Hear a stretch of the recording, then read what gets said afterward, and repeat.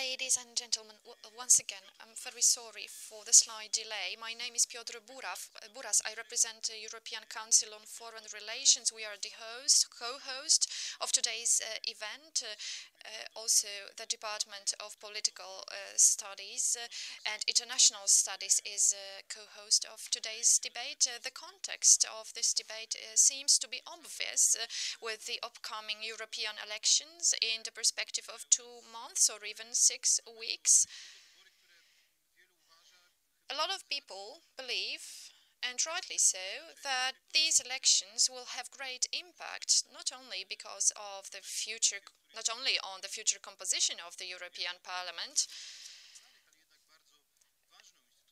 which is uh, contrary to what many people believe, is a very important uh, institution within the European Union. But the elections are going to be important also because of the fact that we are in a deep political crisis in the EU, not at European level, but uh, at the level of individual member states. Uh, in lots of member states, there's a crisis of uh, party system, there are some social and political tensions and uh, the future development of uh, national politics is really insecure. This makes uh, the upcoming elections particularly interesting and they will show in what direction the European policies are going to go. The second reason for this uh, meeting being that important is a survey conducted by ECFR in 14 EU member states. Uh, the results of the survey are partially known. Gazeta Wyborcza has published them some time ago, uh, but not all of them. Next week, a comprehensive report by ECFR will be published concerning the political situation in Europe ahead of uh, European Parliament election and this report will refer to the results of the survey. And I think that uh, the outcomes of the survey are really interesting and uh, it would be good to talk about them uh, with experts. So we will refer to uh, some of the data. And if you're interested in uh, the report as a whole, please uh, make sure that you read it uh, once it is published on 17th April. I would like to welcome Ivan Krastev. Ivan is the co-author of the report and uh, he's the person who knows all the data concerning the European uh, positions on many aspects, many uh, areas that will influence uh, the European elections. Uh, the other two panelists are Katarzyna Pełczyńska-Nałęcz, who's director of IDEA Forum at the Stefan Batory Foundation. Uh, she's a, a, member of the board of uh, ECFR, former ambassador of Poland to Russia, and Sławomir Sierakowski, commentator, political scientist, co-founder of Krytyka Polityczna, and also a fellow at Bosch Foundation in Berlin. I'll suggest we start with a very brief statement.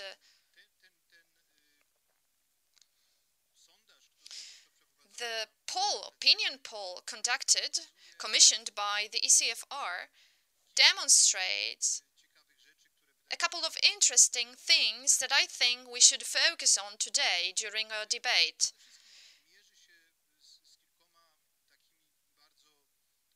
The survey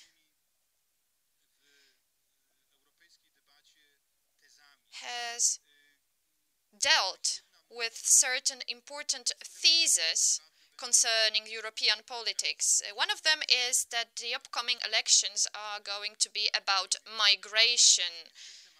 Migration, discussed at European level, uh, will dominate all the other topics and therefore we'll have in fact people voting in favor or against open borders, in favor or against uh, refugees. And the other thesis, which is very much present in the public de debate, is that we have to deal with a very strong social polarization, polarization of the societies. Uh, um,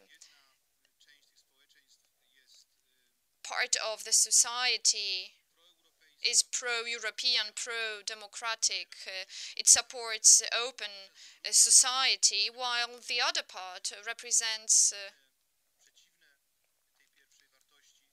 totally different uh, values. And this divide, uh, or the representatives across this divide do not communicate with one another. The question whether these two theses uh, are true resulted in the idea of uh, holding this opinion poll because it might seem that in many cases our impressions were confirmed by the results of the poll. So let me first hand over to Ivan Krastev. Uh, I'd like to ask him what the main conclusion from the survey is, according to him. Which of the myths or theses were confirmed or abolished by the data we got from uh, the survey? Thank you very much. And allow me to start with one of my favorite jokes, just to basically be clear methodologically where we're coming from.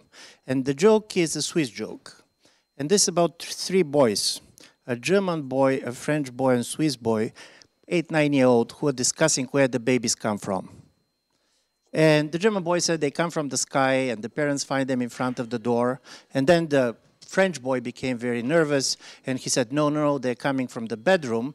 And this was the moment in which the Swiss boy jumped up and said, do not generalize it's different from canton to canton. Uh, and I'm saying this because I'm going to give you some of our key findings, but the important for this our conversation is that Poland is not extremely representative when you compare with other countries.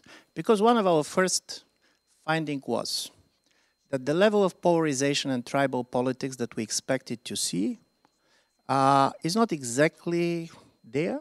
It's true for Poland, and this is not very much true for other countries. Because normally we're seeing Europe in the way we're seeing the United States and the UK, where the tribal politics is very strong. You have two camps. You know that uh, the level of, uh, when you see the relations between Remainers uh, and Brexiteers in the UK or Republicans and the Democrats uh, of the US, to speak up, yeah.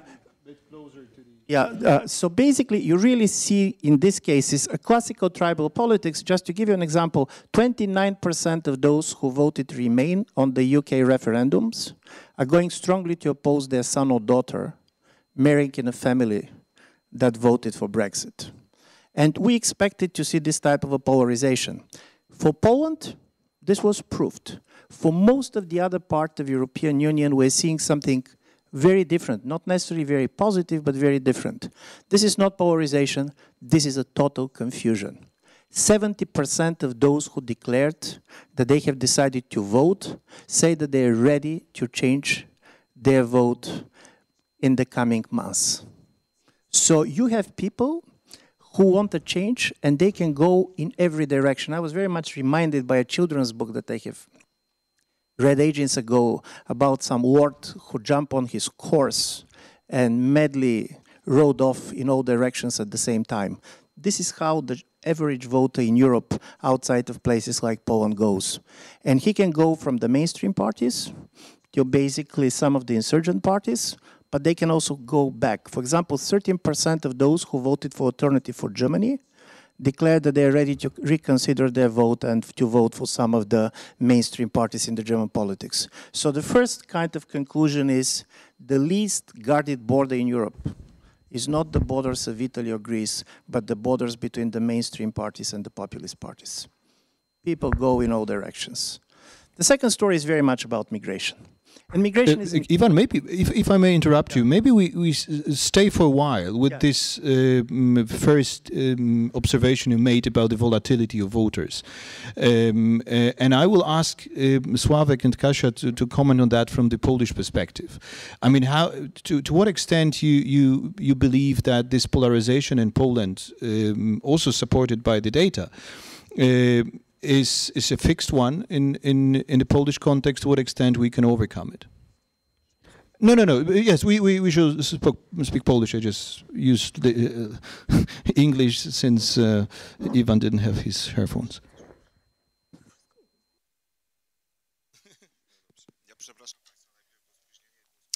I'm very sorry for the delay. Uh, there was uh, some protest of uh, students uh, in the street, so it was not uh, up to me that I was late. Once again, once again, I'm very sorry for the delay. Okay, so the street was closed. Uh, just like Ivan said, well, Poland is not representative. This is the only country with strong polarization. This is the only country where we can say that the parties have very uh, faithful electorates. The least motivated uh, voters at the level of uh, 60%, I'd say, it's the voters of Wiosna. And the most mm, faithful voters, motivated vo voters, are the voters of the Civic Platform and Law and Justice Party. The European coalition was not uh, taken into account here, uh, and the support for Platforma Obywatelska is very weak, uh, around 15 or 16 percent. But the question is who will go to the polls and not what party they will support. And what's surprising, or you might not find it surprising at all, is that uh, the report uh, refers to different kinds of emotions and the voters, which to the highest extent resemble those who would like to protest against different things, are the voters of Wiosna, whereas the supporters of the Law and Justice Party and the Civic Platform are not that into protesting. Well, I said it's surprising because uh, Wiosna, according to myself, does not have an image that is adequate uh, to this uh, approach because I'm not sure that Wiosna can be a party of furious voters. This seems to be a party which uh, articulates uh, certain anger of the society, but it's really difficult to say this this is something we could uh, discuss. But that's true that migration is not the biggest concern in Poland. Healthcare, or in general health, and uh, pensions are the two major concerns in Poland, and that's what the Polish uh, voters uh, are going to be most interested in.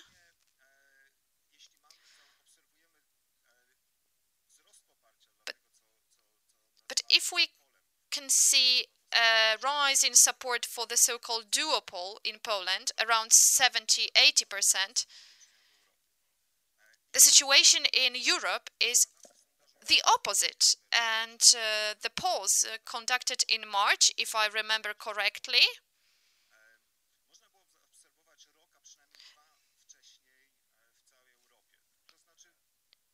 demonstrated things that could be observed two or three years ago in Europe. So, a collapse of two party systems.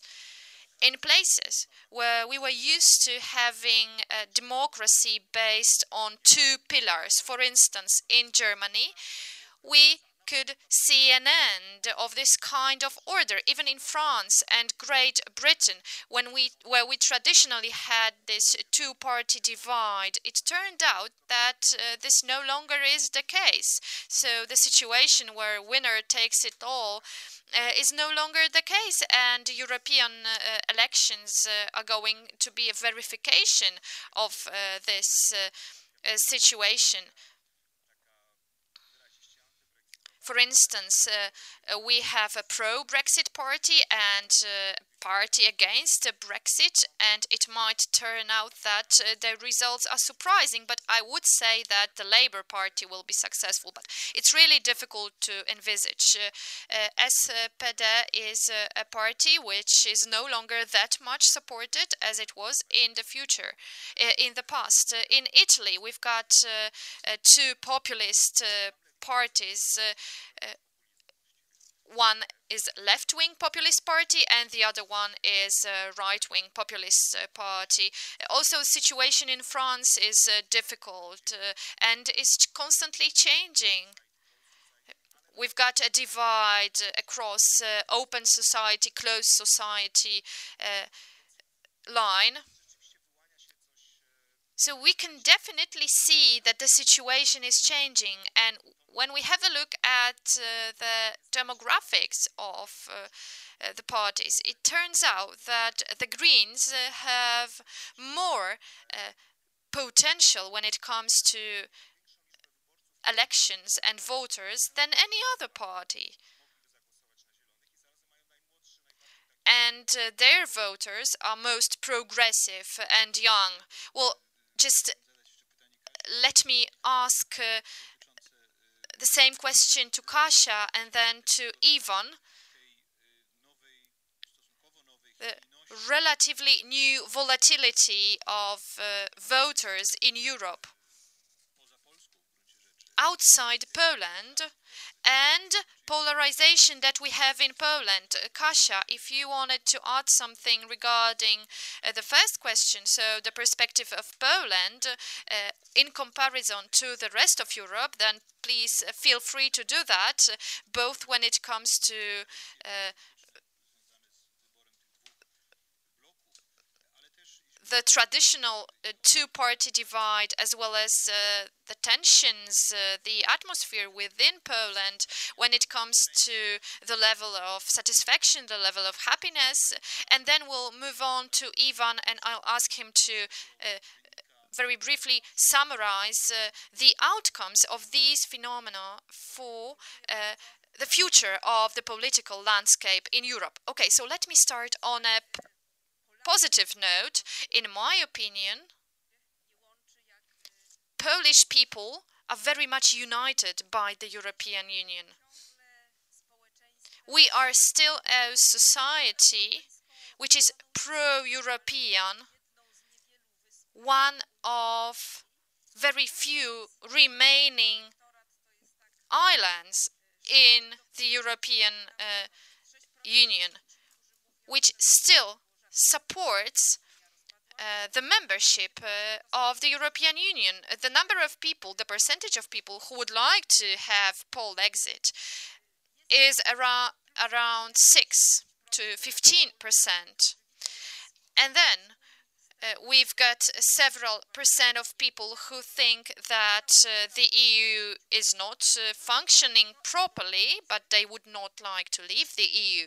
And 60% of the Polish society would like to remain in the European Union, and they are all happy with the fact uh, that uh, they can travel all around Europe without uh, the need to show their IDs or passports. They are happy to be able to work across Europe and uh, they are happy that they can be open to other European countries.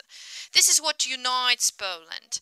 But as everything in the Polish uh, politics, um, uh, Europe uh, fell uh, hostage to a great political conflict, which does not reflect uh, this divide in the Polish society concerning pro Europeans and anti Europeans, but rather creates this divide. And of course, we have to look at the outcomes of the elections, which is, for instance, the composition of the European Parliament. And it is really uh, frustrating that the supporters of Law and Justice say that they would like the outcome of the elections uh, to be a defeat of uh, the civic platform. And the supporters of the civic platform claim that what they only care about is uh, that the Law and Justice Party is defeated, which is a major problem. We have to take a broader look uh, at Europe. People are not that much interested in the program that the European Union is going to follow which is an issue in Poland. We've got two major groups in Poland, and I would not like to forget about the third group, which is a totally different uh, um, group, and this is the Wiosna Party. I would call one of these groups as pro-European nationalists, although it might seem might seem weird, but we, we are really fond of Europe. We are pro-European. But we want our government to decide about our internal affairs. So the question is, who should uh, run uh, trade negotiations in the name of Poland. Obviously, this needs to be the European Union, but uh, 55% of uh, Law and Justice voters think that it's the Polish government that should be engaged in these negotiations, and it's only 10% of uh, the Law and Justice supporters that believe that the EU is the right uh, institution to conduct these negotiations. And the other group uh, are pro Europeans who want to collaborate, who would like to have uh, close alliances. And what's uh, the differentiator between these two groups is uh, the approach towards the rule of law and nationalism. Because the first group believes uh, that uh, or the second group believes uh, that uh, the rule of law should be protected. And then we've got the third group, the smallest one, approximately several percent. They are revolutionary pro Europeans. They are in favor of the EU, but in general, they're anti-system and they are frustrated in terms of economics in terms of environment they are not happy with the system that we live in uh, both when it comes to uh, the benefits, financial benefits that it gives to us, and when it comes to the quality of air that we breathe. So they would like to be in a kind of Europe, but Europe that is totally different, that is revolutionized. And that's the divisions that we have in Poland, in my opinion. And the main debate held in Poland is not about, like in uh, Great Britain, whether we should stay or leave the EU, but the question is how, to what extent, in what way do we want to engage uh, in Europe? Thank you, Kasia. And now let's uh, hand over to Ivan. Uh, we are now uh, very deeply in the Polish internal affairs, but we are very much interested in your opinion. Uh, how do you see Poland against the backdrop of the rest of Europe, but also on the basis of data and the main thesis claiming that uh, the main thesis about uh, tribal uh, politics outside Europe? What's your opinion on the future of politics in the European Union, the future shape of uh, the political landscape uh, in different countries of the European Union? Where are we heading?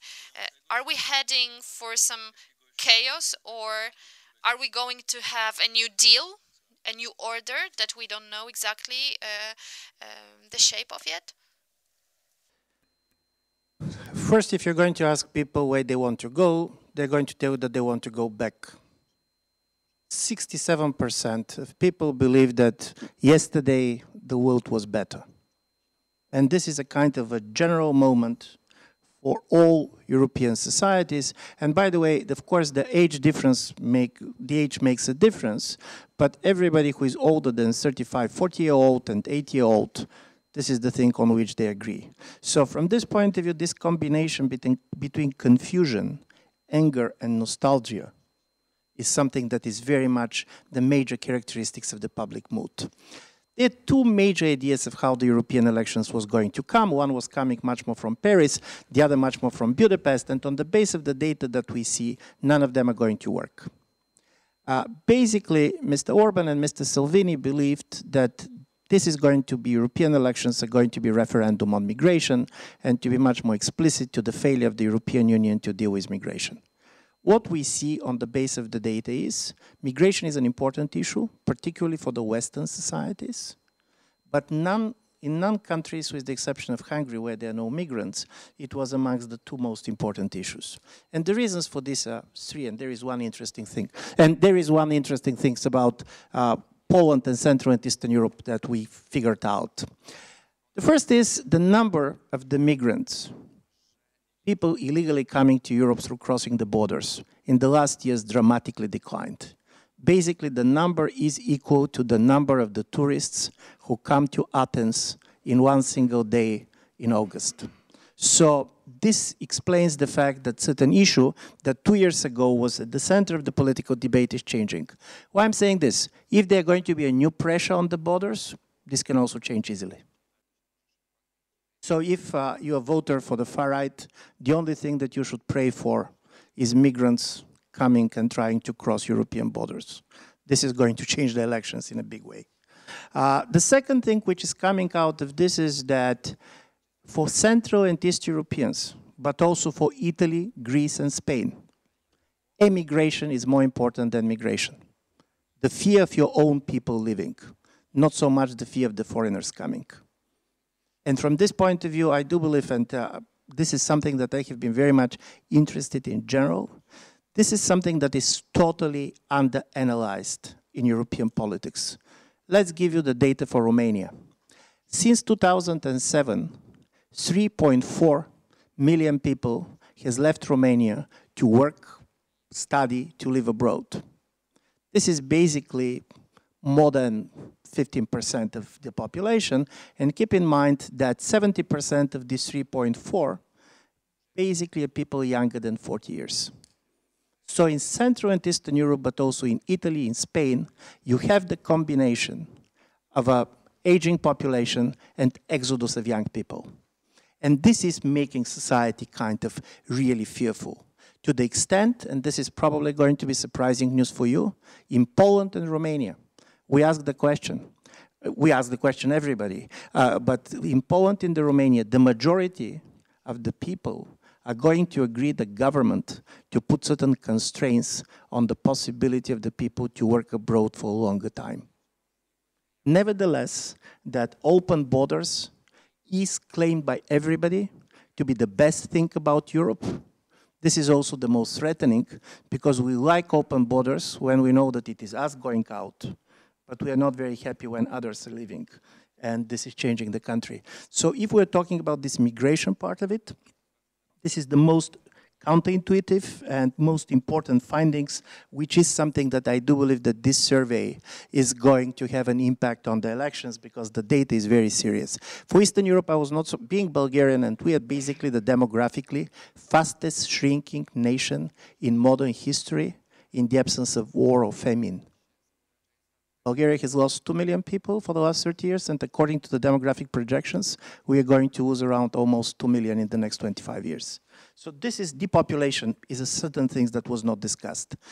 Also, Mr. on the other side, from the progressive side, Mr. Macron believed that European elections are going to look like the second round of the presidential elections in France, where you're going to have a kind of a pro-European majority, and then you're going to have a minority which is betting on the nationalism and nation state. The data does not basically show also this type of a referendum logics. We ask the question, do you believe European Union works? Do you believe that national government works? If Macron was right, basically you're going to have a major divide between those who believe in the EU and those who believe in the nation state. We ended up with the following results. 38% of the people believe that neither European Union works nor the national state works. And these people answering like this are the majority in countries like Italy and France. This is basically the profile of the yellow jackets. Nothing works. It is not that they are disappointed with the European Union, but they hope that the nation state is going to solve the problem. They don't fear EU, they fear the end of the world. And on the other side, you have 24% who basically said, do you know what? European Union works, nation state works. I'm calling them the siesta voters because this is the group of people most unlikely to vote. And the younger the, they are the people in these groups, even less likely to vote. And then you have two groups, those that believe European Union works and their national government does not work.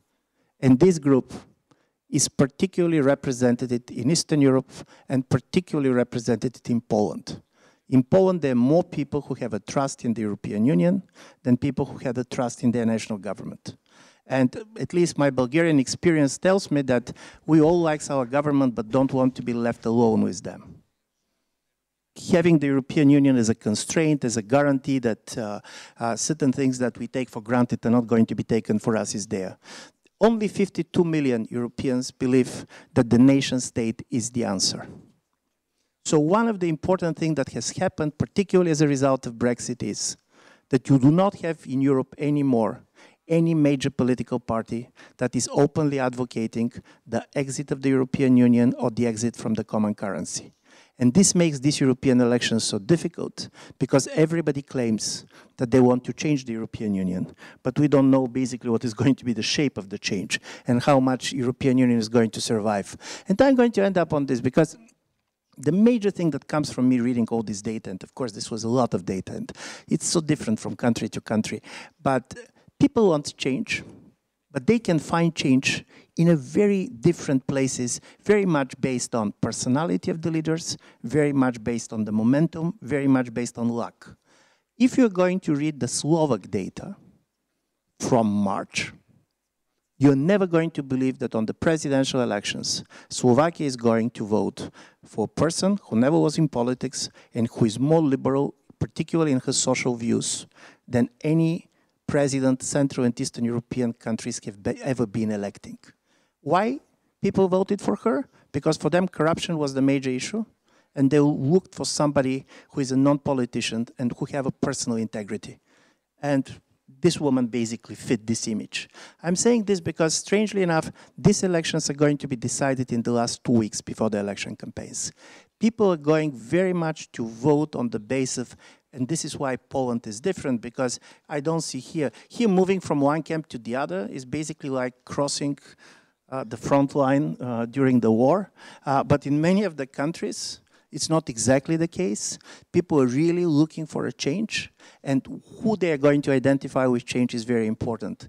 And just give you, as a result of it, one last data to imagine what we're talking about. You're talking about pro-Europeans, and Mr. Macron is staying very much uh, as the leader in France of the pro-European camp. So you expect that people who are going to vote for Macron uh, like the European Union. And you're going to be surprised to learn that people voting, declaring that they're going to vote for Mr. Macron are ones most critical to the European Union. So basically, they like the European Union in the way it could be, not in the way it is.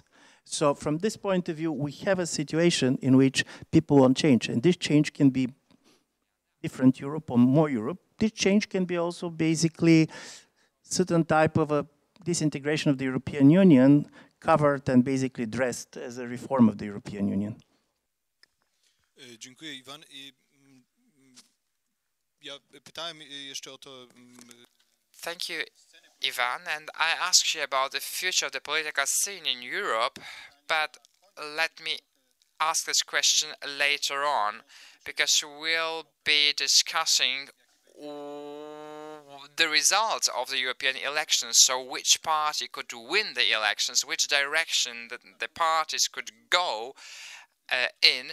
But Ivan mentioned a few important issues, I believe. He referred to questions asked in the poll regarding whether people think that the national state works or not, whether it is effective or not, or maybe they believe that the European Union works and is effective, or maybe they think that neither the European Union nor the national state works properly. And now I would like to ask Kasia and Sławek how they see it with regard to different profiles of the voters of the law and justice parties in Poland or the civic platform in Poland or Wiosna, which is Spring, the new political party.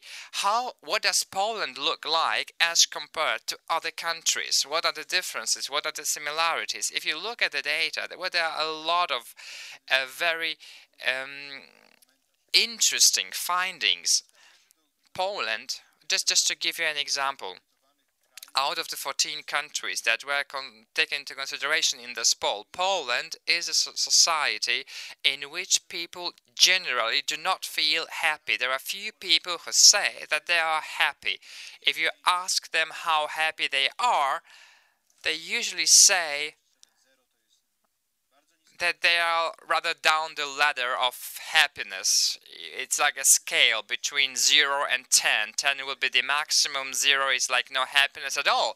And if you ask Polish people where they are, they usually refer to the lower part of the ladder, not the upper one.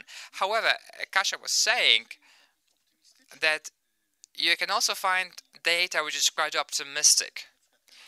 And I have now the impression that the voters of the Law and Justice Party are quite happy now. They feel happy.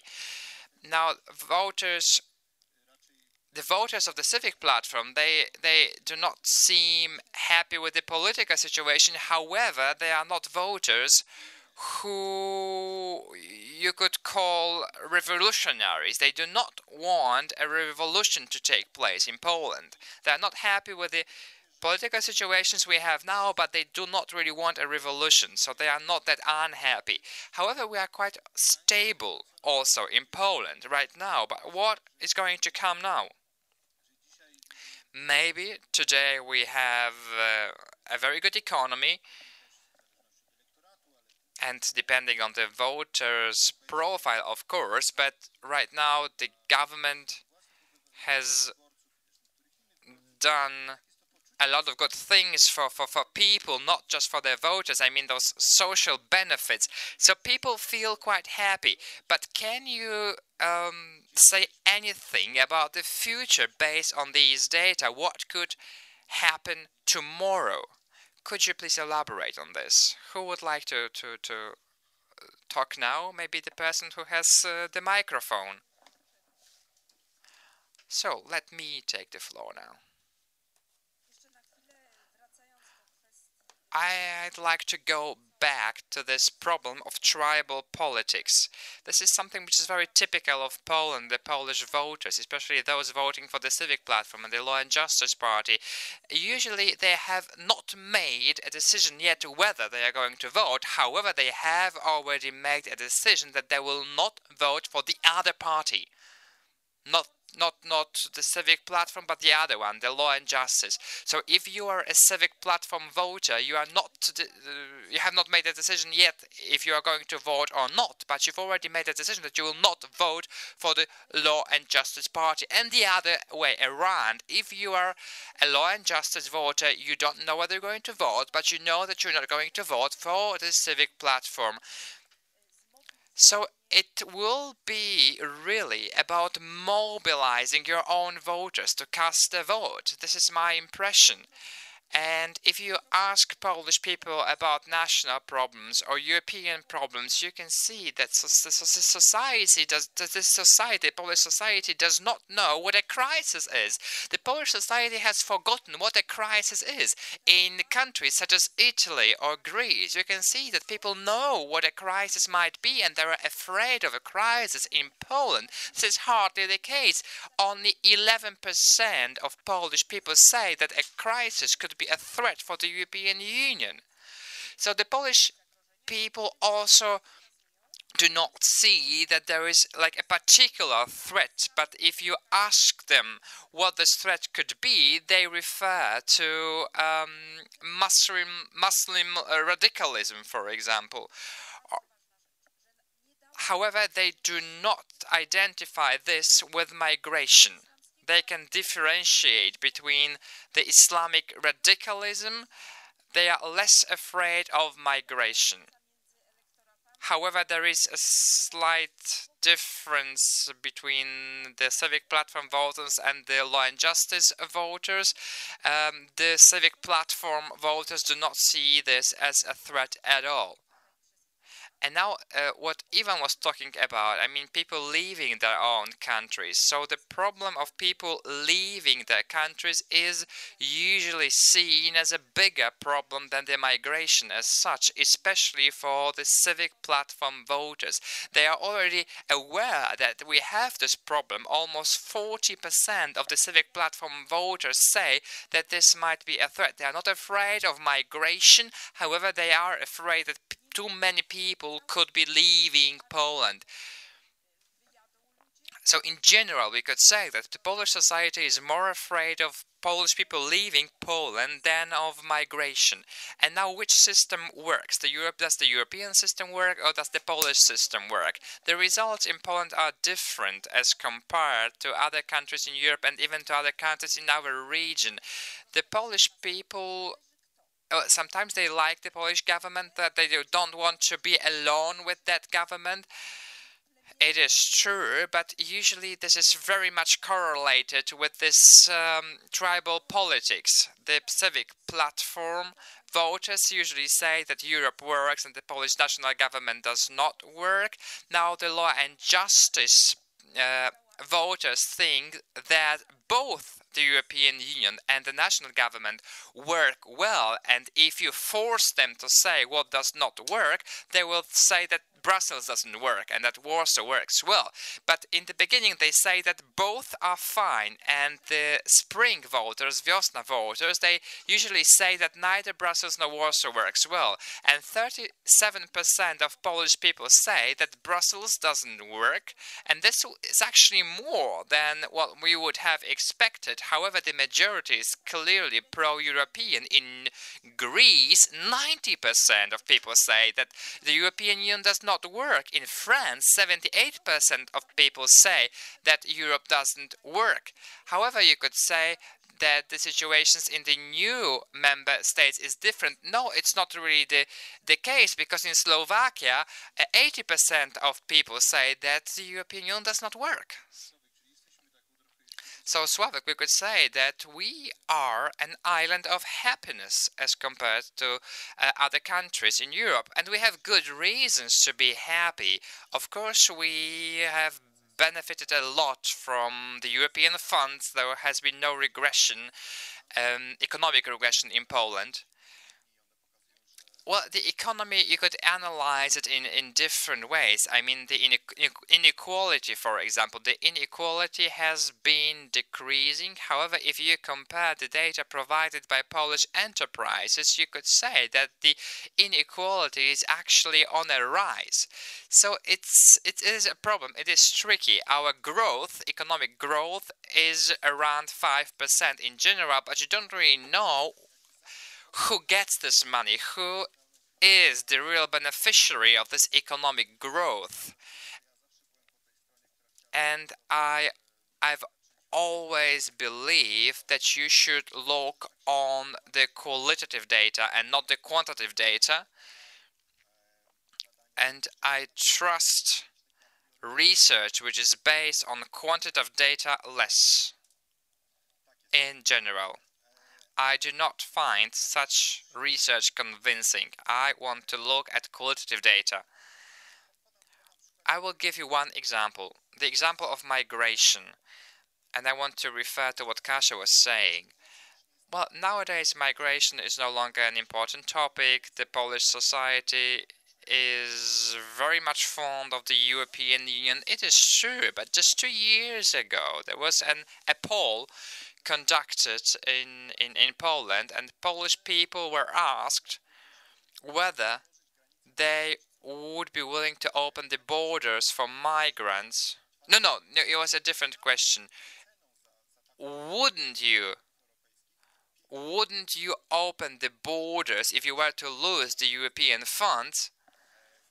And 58% uh, said that they are ready to um, give up the European funds uh, if they can keep their borders closed.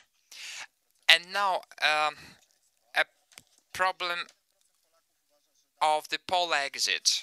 Well, 51% think that it is better not to have migrants in Poland even if you need to European Union. So I do not think that we do not have this problem with migration anymore.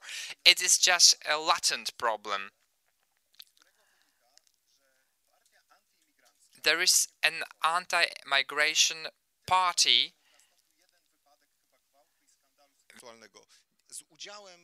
it is in Scandinavia, and there was an accident, there was an incident.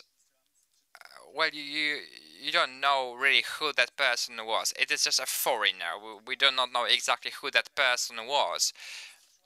But there was an incident, a violent incident, and that party was a number three, and right now it is number two among the parties in that country. So you can see how quickly this can change. Usually, if you think, if you realize that this problem is an imaginary one in Poland, the problem of migration has always been an imaginary problem because we've never had too many migrants.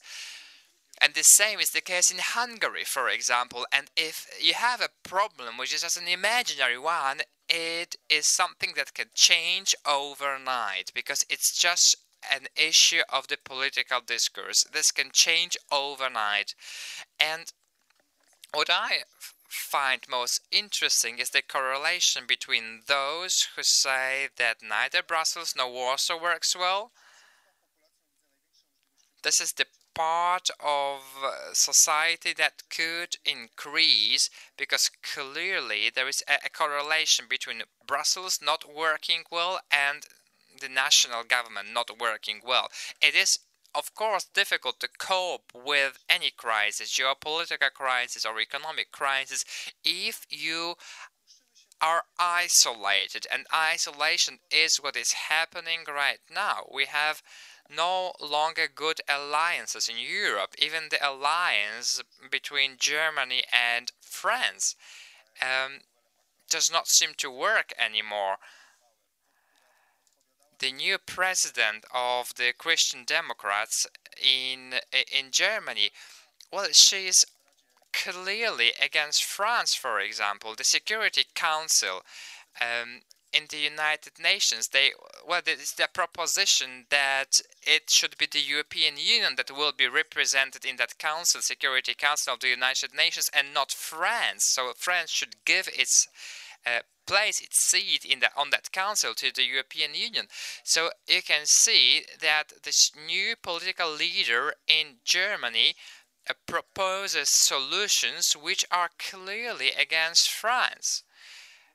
And it's very radically so. So it's like Jarosław Kaczynski. So Kaczynski does not want to rule the European Union, but he does not want to be ruled by the European Union. And Germany uh, seems to be fed up. Like everyone wants something from Germany, and Germany does not want to um, be used in that way. And we have a clear rule in the European Union uh, whoever rules in Germany rules in the European Union. And all those bridges, all those alliances, the French and German alliance, uh, this this bridge of stability between the UK and Germany, they no longer work. And the, the, the alliance between the Visegrad um, countries, the Visegrad group, and Germany, well, this does not work anymore and Germany is becoming very much orthodox in economic terms and France, as, as, as, as declared in the manifest published by uh, Macron, they want to be more orthodox in economic terms as well. and they all dream about a better future, all of them, including the decision makers. And that's why we are so confused. All the politicians want to take the European Union to another direction, and it's hardly a surprise that it's very confusing for the voters because this change that we want for the European Union looks different in all the member states. It is confusing, and there is actually no single topic that would be relevant and important for all European people. And I think the situation is going to be worse and worse. Can you imagine European elections where there has been a change this week? If we have elections in the UK now, the distribution of power in the European Union will be a different one.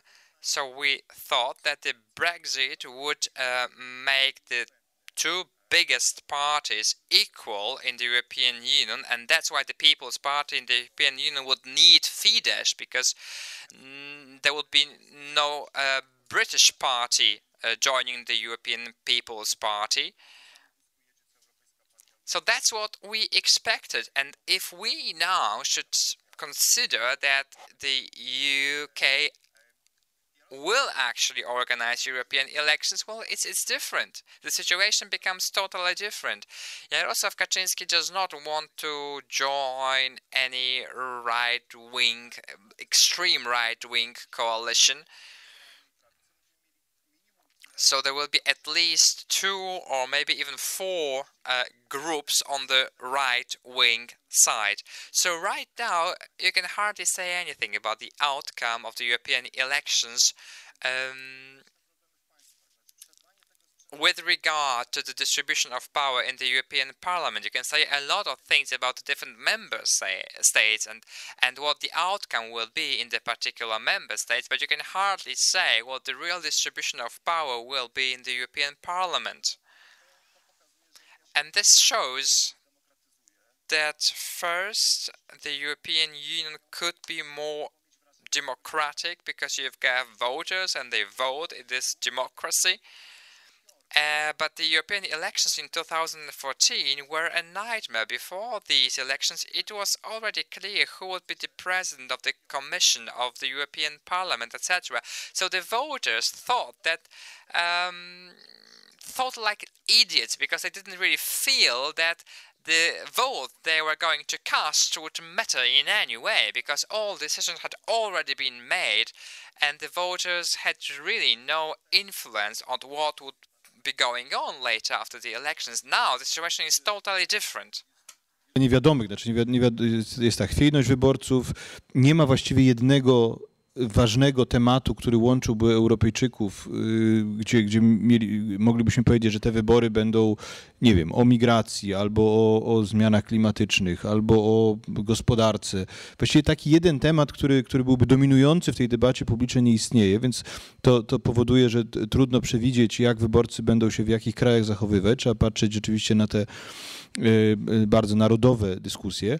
Ale ja chciałem Iwana zapytać y, o jeszcze jeden, zanim też Państwu umożliwię stawianie pytań, to, to chciałem Iwana zapytać o jeden jeszcze taki element tego podziału w Europie, podział na wschód i zachód. To znaczy, jak, czy, czy to jest może jakaś stała? Czy, czy w tych, z tych wyników Y, wychodzi, że ten podział między wschodem a zachodem się odnawia lub może nigdy nie zginął, y, czy też y, również mamy do czynienia z pewnym mitem, który, który, który należy obalić.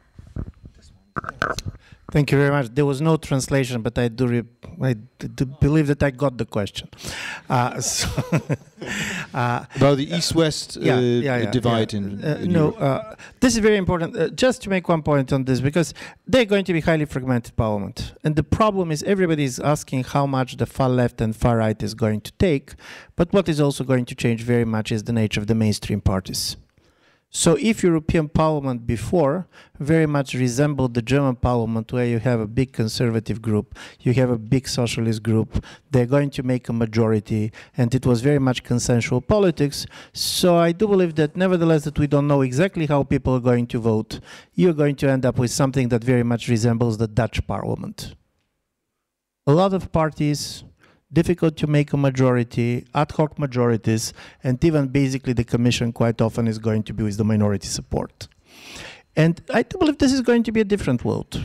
We can like it or dislike it, but it's very different than what we know. And from this point of view, East-West divide, which was uh, there was the story that uh, the West is going to stay for Europe while the East is going wild and basically uh, totally liberal. Uh, on the base of the data that I see, in certain way, Poland can become the most positive surprise uh, if uh, the elections are going to work well for the opposition. And don't uh, uh, forget, to such an extent, everything happening in Europe is based on the news coming from one or two countries. That if on the night of the elections it appeared that basically Polish opposition is doing better than the government, all the story of Central and Eastern Europe is going to change. Uh, because first of all, Central and Eastern Europe is not as unified as people believe on anything than the common position on uh, migration after the refugee crisis. And secondly, and uh, this is my last point, is when you read also the data and the voters' preferences, one of the major questions is how united the Eurosceptic right could be. And I know that Mr. Salvini came here and trying to talk about uh, the Rome-Warsaw coalition. And as a negative coalition, it can stand. You can end up even with a situation in which symbolically this type of a parties are going to come with a bloc which is the biggest in the European Parliament. But then when you go and see where their voter stands, I'm going to give you just three issues on which I want to be present in the room when basically Mr. Salvini and Mr. Kaczynski are going to negotiate. Common position on Russia. Italy at the moment is the most pro-Russian country in the European Union. Uh, compared with the position of the current Italian government, basically Germany a hoax on Russia. Secondly is about the budgets when it comes to the European budgets, uh, the major point of Italy and all of the southern countries was that because of the financial crisis hurt this crisis, these countries more than anybody else, the most money should go to Spain, to Greece, to Italy. The position of East Europeans always was that because we still are much poorer uh, than the Western Europe, this is the type of disparity that should be uh, uh get together. Uh, so I'm saying all this because uh, and the third thing that goes very much also about uh, uh, uh, uh on Russia and when it comes to basically is the problem of what is uh, the major orientation, which are the priorities of these countries coming. And for the South, it's very much basically what is happening with Africa. And uh, we're even talking about a totally different type of uh, migration. And for East European countries, it's very much about Ukraine and what is happening in the post-Soviet space. I'm saying all this because on the night of the elections, it's going to be symbolic politics more than anything else. And from this point of view, I do believe that nevertheless that we said that Poland is very different in some of its dynamics, people are going to look outside of their own countries, only in four or five countries what is happening there. Berlin and Paris, for sure, everybody is looking, but one is going to be Warsaw, and probably one is going to be Rome. So from this point of view, I do believe that in a certain way, the elections results in Poland are going probably to have more symbolic impact of how Europeans are going to perceive European Union after these elections than most of the elections that we're going to witness.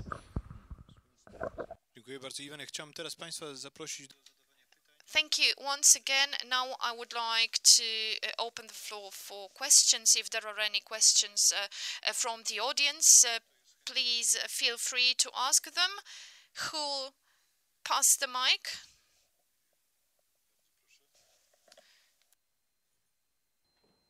Uh, thank you. My question is for Ivan uh, Krastev, because the point you mentioned about labor mobility is not only an argument like in public opinion, but also now on the political agenda. Last week, uh, last weekend, like um, there was an informal meeting uh, under the Romanian presidency, and I think for the first time we had the government saying that labor mobility is a good thing, but there are also negative effects.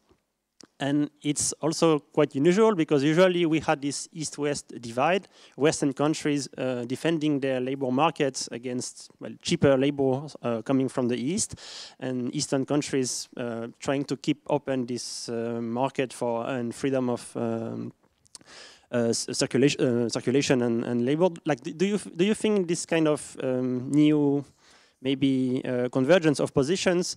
Also, like about Poland, if we listen carefully to what uh, Mateusz Morawiecki says about uh, Poles living in the UK, I think there is some will on, in Warsaw that yes, it would be good to maybe restrict this right so that these Poles could come back to the country and work for here and not for other other countries. Do you think this um, this issue can have some political developments uh, towards a restriction of labor uh, mobility? Thank you very much. For me, this is a, uh, it's going to be a central question in the East-West relations because it's going to be even more complicated. I agree very much with you that till five or ten years ago, East Europeans were pushing very much and insisting on labor mobility, open borders. And the Western countries are saying this is a problem, we have a domestic political pressures, too much migration, and so on three things happened. First, if you look around, most of the Central and East European countries do not have an unemployment problem, they have a labor shortage problem. There is nobody to hire. Uh, and this is a huge issue for our countries where basically the attractiveness of foreign investment is very much based on a relatively qualified but cheap labor. Uh, so all our business model now is uh, uh, in question. Uh, secondly, what has changed very much is that the more successfully we are protecting the external borders, the more we, we succeed not to have migrants coming from outside Europe, Eastern Europe and Central Europe becomes the major labor reserve for the Western markets and particularly for the German markets that is missing around 1 million people. And this is going to be also clash of interests on this. And I do believe that this is particularly important because seeing also from what I see in Bulgaria and other places, the first sectors that the most hurt out of out migration is the health sector. Listen, in Bulgaria these days it's much easier to find an honest politician than a nurse and nurses even more difficult than doctors. It's a huge issue. And particularly with the aging population, this is becoming a major issue. And also don't forget that with a big migration, it's not simply the migration of people, this is a migration of voters. When somebody was asking me where the labor uh, voters uh, uh, from Eastern Europe, I said they're in Western Europe. So this is why you cannot see them on the elections. Uh, but secondly, it's a major transfer of money all the money invested in the education of a doctor who decided basically to go and to work abroad are money that are leaving the country. So how to compensate for this? How to create a situation in which you are going to have a much more mobility to the west and back? How we are going, for example, to compensate uh, for some of the shortages in the health system of the East European countries? This is something to be discussed. But for the first time, our governments are starting to talk about this because before we didn't know how to talk about it. And this is also very much dividing countries. Uh, my last point is that this is not true for all East European countries. The countries that are most crushed by the depopulation are the Baltic republics. Baltic republics basically lost around one third of their population. And imagine we're talking about such a small societies. But there are countries like the Czech Republic where for the last 30 years only 4% of the population left. Compare this with basically what's happening in Poland or Bulgaria or Hungary. Uh, also, the nationalistic rhetoric was one of uh, the ways to try to stop people emigrating. If you're listening basically uh, to the rhetoric of Mr. Orban, uh, this nationalist rhetoric, which became so popular in the last years, one of its aims is also to try to convince people not to emigrate. Uh, because our countries, particularly Hungary, is facing a problem not very different than the problem GDR faced in 1961 when they built the Berlin Wall. You try to stop basically uh, the exodus of uh, young uh, uh, workers. I'm saying this because more people has left Hungary for the last 10 years than after 1956 uprising. So from this point of view, nationalist rhetoric is not enough to keep people in the country. And how this is going to be addressed is the big issue. I expected this to come as a very central for the elections. And if there is one thing of this study that I do believe we're going to achieve, is to try to push people talking about emigration as a problem. Because before our fears of emigration have been very much expressed as a fear of migration. Dziękuję bardzo. Jerzy Margański, tam... Uh, thank you so much. Uh, now, fifth row. Question from the fifth row.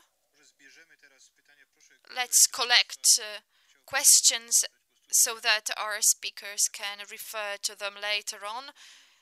My question is addressed to Mr. Sierakowski. Could you please speak a bit louder? Do you also think uh, that the assessment of uh, German-French relations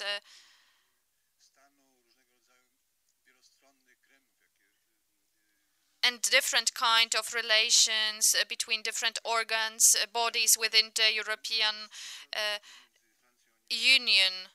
So how do you assess these relations? Do you think they are positive, they are negative? You mentioned an article of a new leader of uh, Christian Democrat Party in Germany a new opening in German French uh, relations, Treaty uh, of Aachen.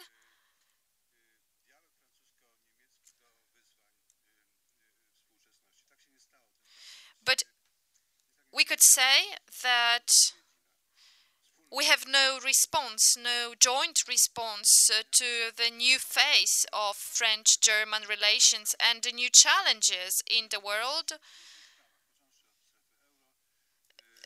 there are lots of uh, different opinion concerning eurozone and the issue of common uh, security and defense policy within the EU so it could be expected uh, that uh, France and Germany reach a certain conclusion but uh,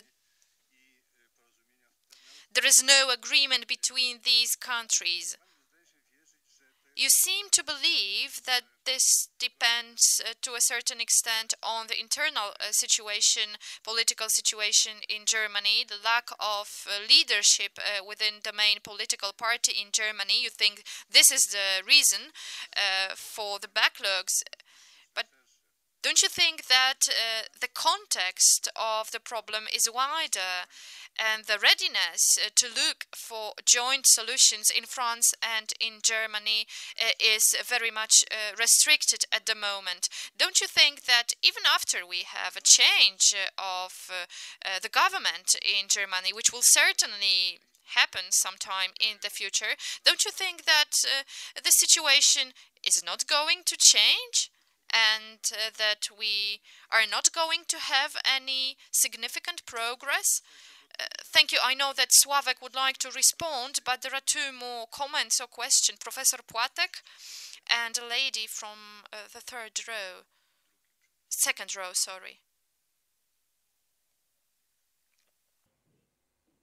I've got a question for Mr. Ivan Krastev, which will be following a bit what we were already talking about.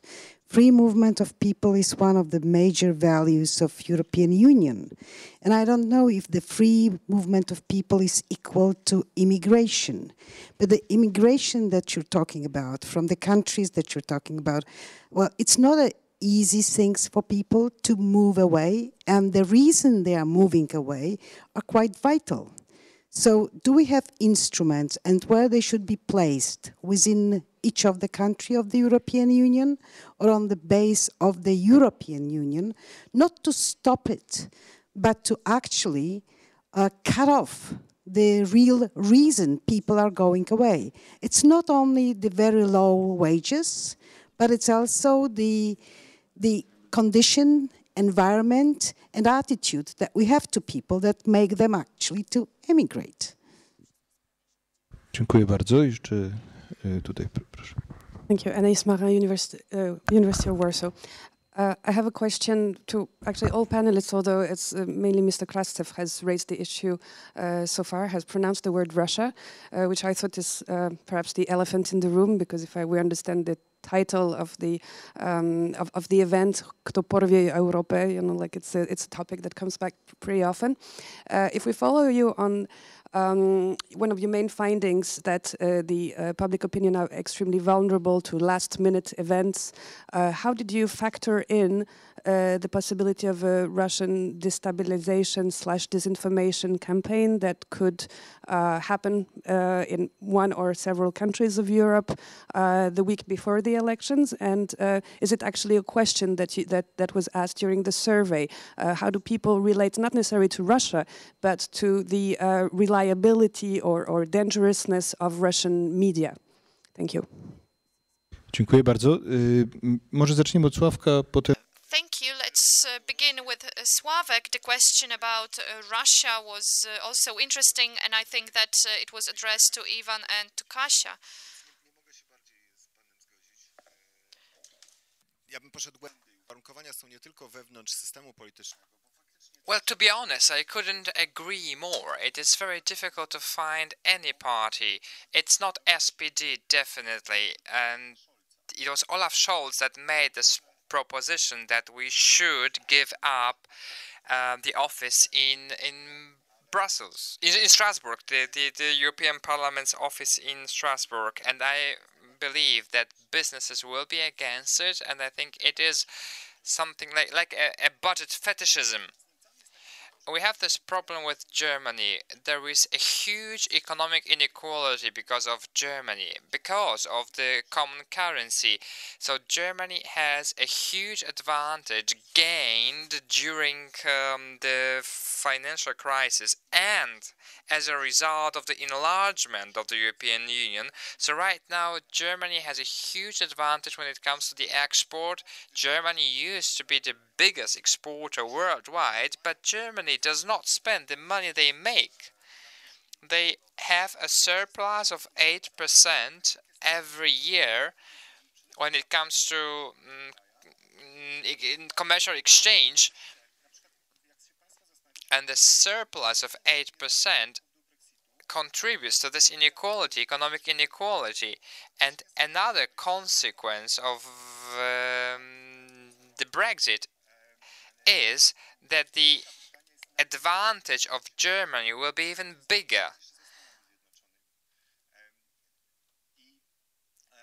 So it is Germany that sells much more products to the UK than the other way around, and that's why Germany is not ready to accept the completion of the European reform so that the Eurozone could be enlarged by other dimensions, like the fiscal dimension. And the effect is, at the end of the day, that Manuel Macron has become quite aggressive recently.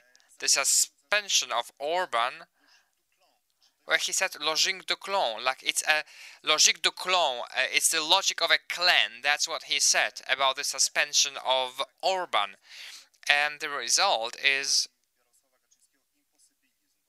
Well, I, I like even like this word coined by Jarosław Kaczynski, impossibilism, which means impossibilism. So wherever Germany does not want to enter, well, please take a look that Germany is the last country when it comes to the development of the internet. It's very often not possible to pay by card in Germany. You need an ATM and it might be difficult to find an ATM in Germany. So the ATM network is very poor in Germany. It's uh, you have a monopoly of Deutsche Telekom. So Germany is really far behind all the other countries. If you have a person from Ukraine that goes to Germany, well, it's like a person traveling from the first world to the third world country. Between Düsseldorf and Cologne, uh, there, there is no good internet. If you uh, go by train from Berlin, it will be Frankfurt, uh, where you will have access to the internet on the train. Um, well, you will have that access on the Polish border if you travel by train from Berlin. And the airports, the, the Berlin airports, uh, are the worst in the European Union.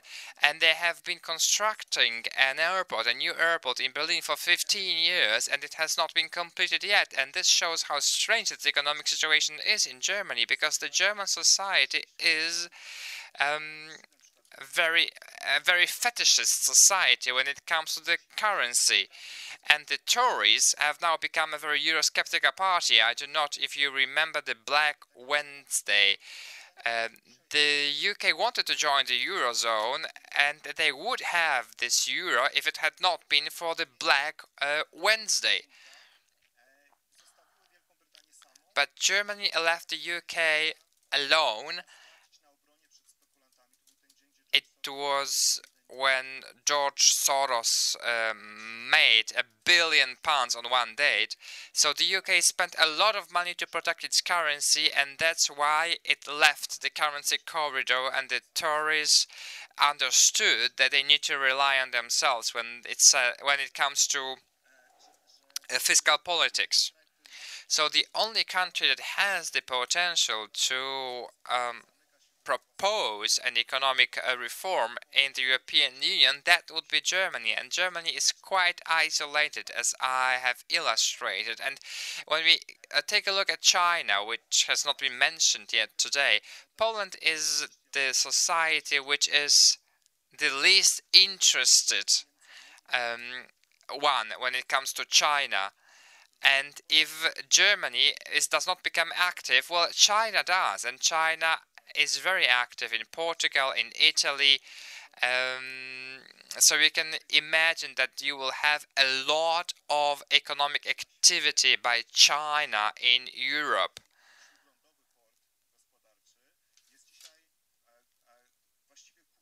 And Trieste has been purchased by China, and it is one of the biggest harbors uh, in, in, in, in Europe, and it could have been purchased by Germany, but it was purchased by China, not by Germany. You don't have any more time. I'm sorry, I need to interrupt you. So now we just have a few minutes left. It's just, I really very much enjoy what you are saying and I enjoy listening to you, but we don't have any time. Ivan, would you like to make your comments now? Responses and of course uh, Kasia Russia who's, uh, who know much more on me. First let's uh, uh defend the Munich airport. I'm not going to call him the worst in Europe, just on the factual side. but uh, uh, but first, your point is very well taken because it's not an emigration in the way it was. People come, people go. And I do believe this is very important because it very much resembles the movement from the rural areas to the urban areas in 60s and 70s. And I do believe that it's very important to try to see all the policies that try to basically go with the disbalance that came uh, in these areas when people have been kind of massively moving. But this is also very important because if you're a young person, uh, in a country and you don't like very much what your government is doing and you don't like the atmosphere. So you're going to vote for the opposition, you're going to protest, but after two or three years, you understand that if you want to change your life, it's much easier to change the country than to change the government. And I do believe this exit option, which is particularly strong for the younger people who also for demographic, demographic reasons are very small cohort, they don't have the numbers to produce a change, is something that we're seeing in many of, uh, uh, of our countries. And on Russia, we have a block of questions on Russia. And what comes is, and this is very important, European Union cannot be consolidated on the base of the external threat. Even in Poland, Russia does not come as the major threat radical Islam comes as a bigger security threat, which for me was a surprise. And Russia does not come as a threat in almost half of the countries at all. The same for China, the same for Turkey. So from this point of view, the European Union, unlike a classical nation state that is looking for unity basically on the consolidation of the external threat, not. And of course, there was a special group of questions trying to see how the Russian uh, interference on the model of what happened on the American elections can basically work. Here, country, you see that people are aware of this, uh, but do you believe that your government is prepared or not? Very much depends not how you view Russia, but how you view the government. On the Polish data, those who said that they're going to vote for uh, the Law and Justice Party said that Poland is very well prepared to do anything uh, to respond basically to the provocation coming from Russia. Those who vote for the opposition parties has a very different views. So when you ask basically on the threat of uh, uh, the foreign interference, it's much more answer on the capacity of your government than basically very much detailed analysis of what basically can come from the outside. Kasia, a few words about Russia. Please speak into the mic. Well, Russia, Russia as a player, as a factor that could interfere with the European elections, and not just the European elections that we are going to have now, but also the elections to come. Well, it is an issue that's, that's being debated all the time, so it's not like we don't know about it. It's not like we have never experienced it. The European society, the European leaders, the European Union, they have all experienced such interference from Russia, and this interference can take many different forms. It could uh, be related to the presence of Russia on the social media or different incidents, whether they are true or maybe maybe not. Like you, there could be a rape, but you could actually say that there was a rape, even though no one was raped at all. And maybe a, a, a potential threat of um, huge migration from Libya to the European Union this is something you cannot really verify in and define 100%. However, you could say two things. First, Russia is powerless if the European Union is strong.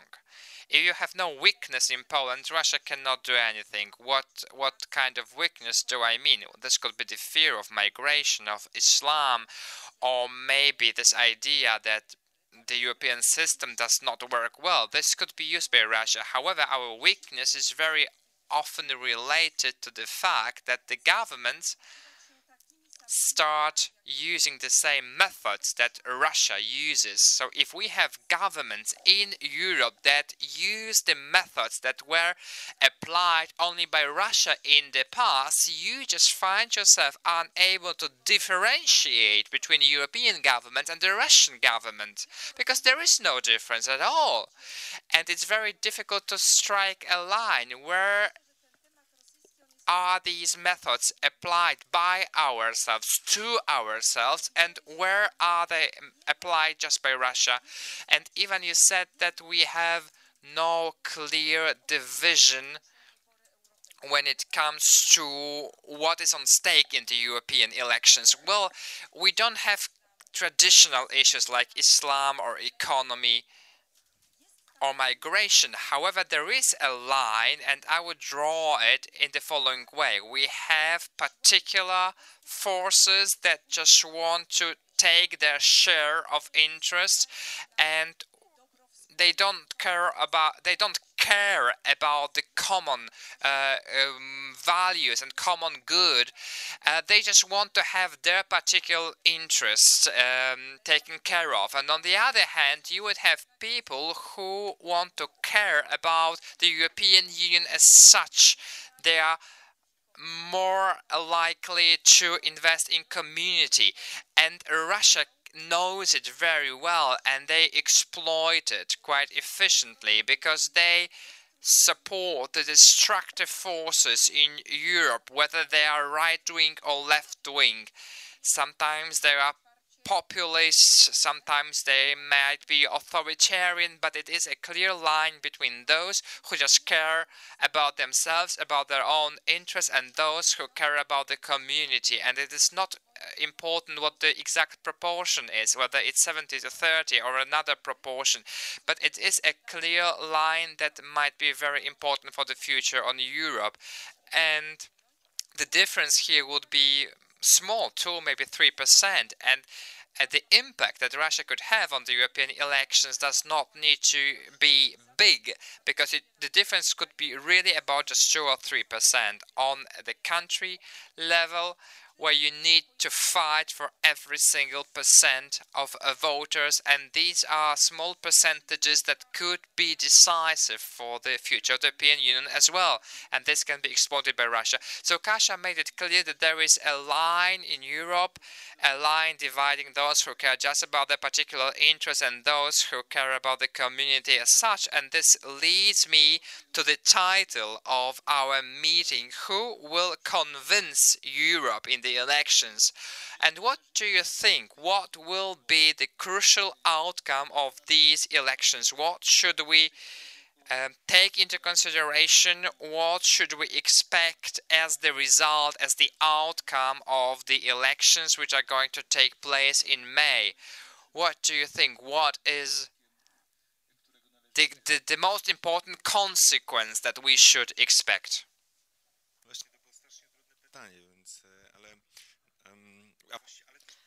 Well, it was a very difficult question, but I think it was in a way answered during the discussion. And Kasia talked a bit about the fact that Russia is able to seize Europe. But at the same time, she said that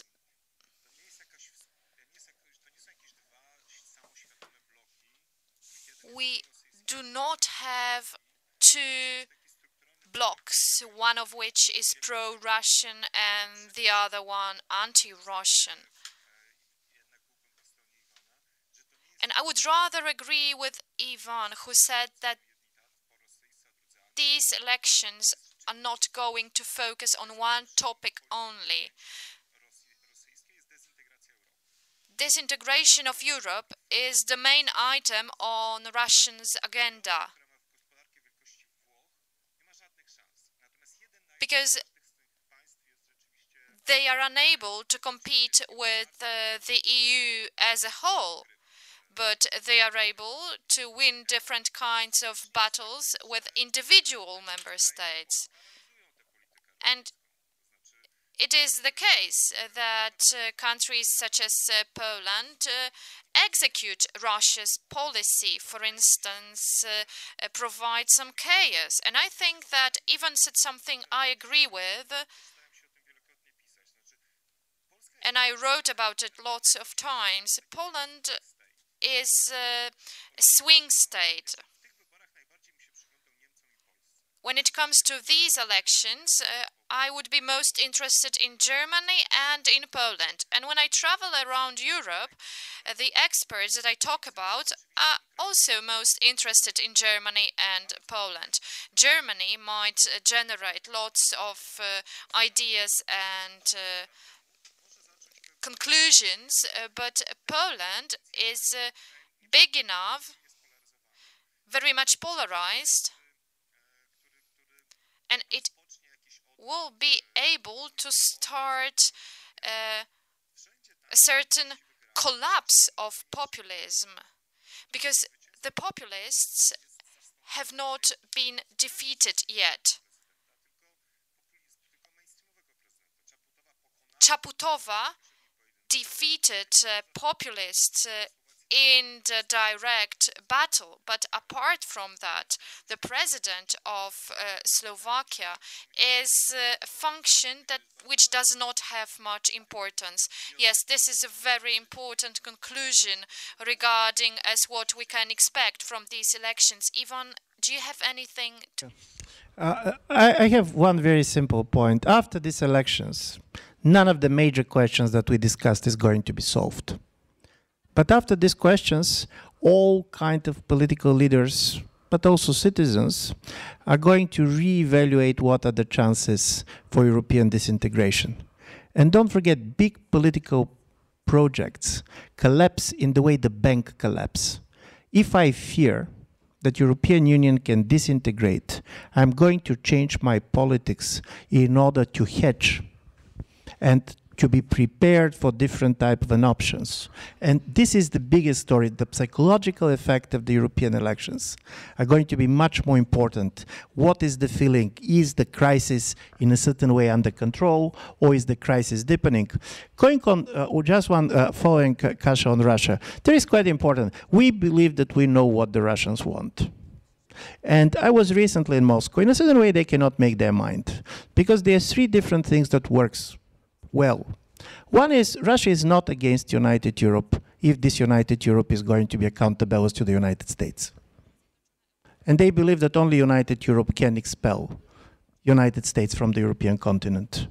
Russia probably also is not against if they're going to have a two-speed Europe and basically East European countries, which they don't like much, are going basically to be uh, taken out. And of course, Russia is not going to uh, suffer if they're going to be total disintegration. Nevertheless, that in trade and economic relations, a major disintegration of the European Union is going to be a big economic issue also for Russia. So from this point of view, Russian politics at the moment, at least in the way I read it, is much more simpler. And this is to support every political party which is going officially to say that they have a pro-Russian policies, particularly on sanctions, and try to punish, punish others. So they follow the logic that in a difficult moment you should have a very simple policy.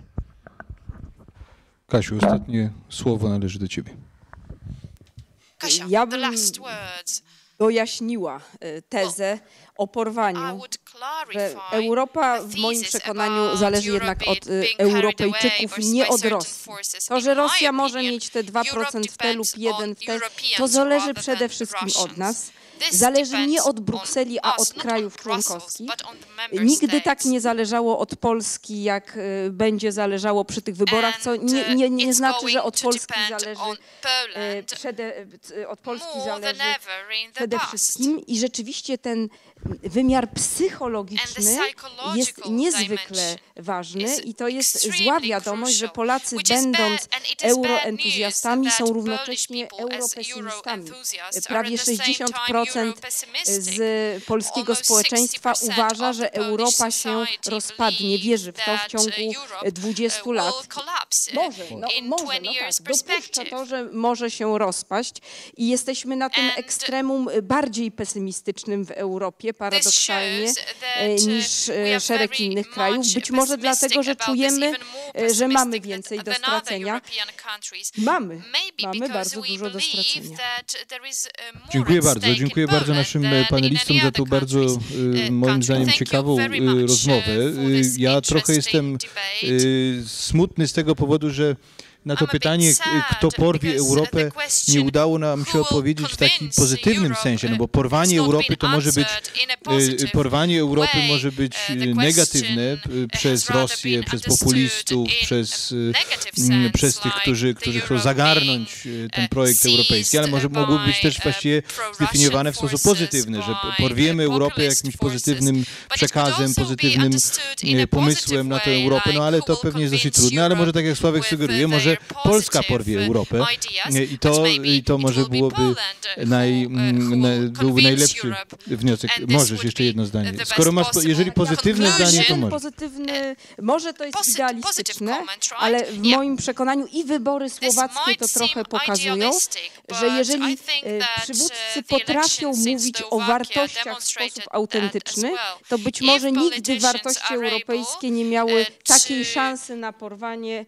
e, Europy jak teraz, tylko one muszą iść w połączeniu z przywództwem, które jest autentyczne. Jeśli to połączenie zaistnieje, to siła może być uh, wielka.